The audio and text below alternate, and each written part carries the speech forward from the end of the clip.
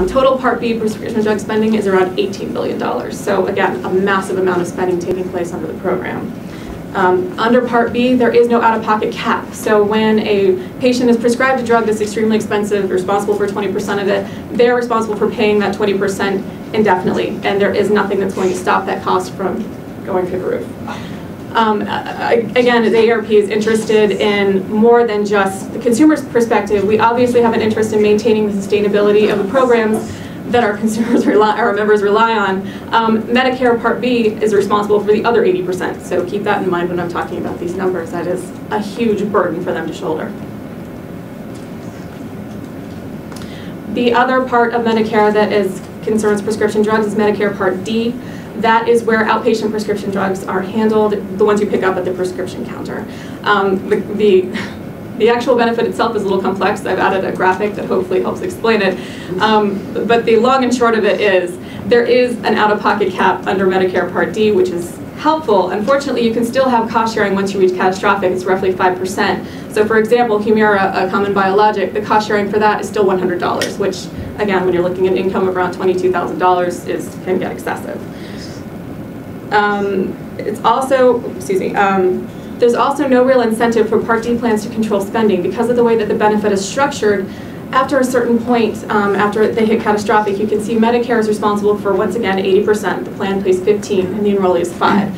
So the plan is kind of off the hook when you're on a very expensive drug and they blow through it pretty, this benefit very quickly because once you reach the 4,500 or 4,515 out of pocket, you're through the benefit, and then the government is on the hook for the 80%. So again, that's something that increases um, Medicare Part D spending, which was 62.5 billion in 2012.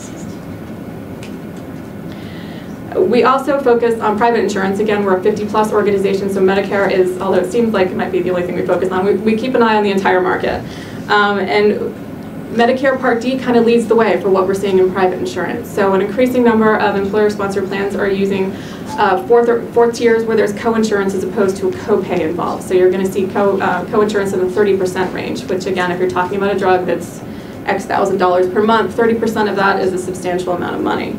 Um, something else that's been pointed out recently in some of the uh, PBM drug trend reports is that the quote-unquote relatively low cost sharing, which again is 30% of thousands of dollars, is threatening to increase cost sharing for other drugs. So these, the costs associated with the very expensive drugs are going to be seen throughout the system through increased premiums and increased cost sharing, regardless of whether you're taking a drug yourself, which is something that we're having a really hard time explaining to people. Uh, the exchange plans, which have recently come onto the market, are also uh, they, they do have an out-of-pocket maximum, which is extremely helpful. However, the co-insurance associated with some of the expensive drugs can be anywhere from 40 to 60%, which is extremely high and certainly increases the possibility that someone is just going to walk away from the pharmacy counter. If you walk up and you're told you're owed thousands of dollars, I'm not sure there are too many people that have that in their reserves to just go ahead and pay that money until they hit their out-of-pocket cap. Um, the one thing I do like to make clear when I'm talking about cost sharing and co-insurance issues is that the problem is not the problem is cost sharing, but the underlying problem and the thing that needs to be kept in mind is the reason the cost sharing is so high is because the price of the products is high. And that seems to be something that gets lost in the conversation a lot. So as far as our perspective on what we've seen in TTIP thus far, um, AARP has been strongly, strongly opposed to 12 years of market exclusivity. So obviously 12 years of data exclusivity is something that we find completely unacceptable. Um, the FTC released a report effectively reaching the same conclusions where they believe that it not only is unnecessary but also can have a negative impact on innovation and we you know, thought of having that extended worldwide is a little concerning for us. Um, we also have a problem with evergreening. Uh, we think that manufacturers should have to demonstrate a clear, significant clinical advantage in order to receive additional exclusivity.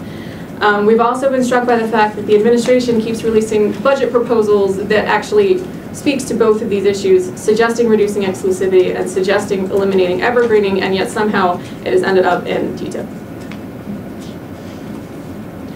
We've also been out front on naming, biosimilar naming. Um, we do think that is a serious problem, and I understand that there's some provisions that might speak to this. Um, we believe that different INNs is actually a patient safety issue. It can lead to confusion. It requires prescribers to memorize, you know, hundreds of drugs with comparable effects, and obviously, you know, they already are struggling with coverage ideas and different benefit designs, and asking them to remember all of the drugs on the market as well seems a little um, difficult. Uh, We also have concerns about the fact that that's going to effectively remove the existing safety information from the- that has been gained through having the brand name biologic on the market. Um, And finally, and probably most importantly, having different INNs is not going to help substitution, which is the primary way that biosimilars are going to reduce costs. Um, And that obviously is a huge concern because it effectively makes it where biosimilars aren't going to have the effect that obviously we want. And as I've mentioned several times today, um, AARP is not pleased by the fact that this process has not been particularly transparent.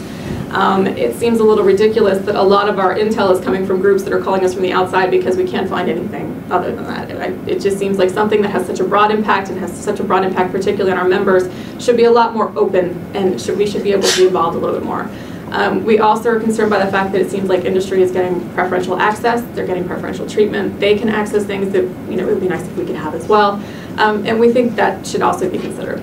Um, And finally, we also, and this probably just speaks more broadly, we really believe that the final agreement should not prioritize profits over people, and that seems to be kind of the direction that things are heading. Okay, I'm just going to close out with a little bit of thoughts about implications of, you know, everything goes south and everything gets in there that we're not particularly pleased about. Um, Number one, CBO has found that reducing the exclusivity period for brand name biologics could save taxpayer-funded programs, which again, it's important to keep in mind, the programs that AARP is trying to protect are funded by taxpayers, so it's not just us trying to protect our own. This is something that impacts everyone, whether they recognize it or not.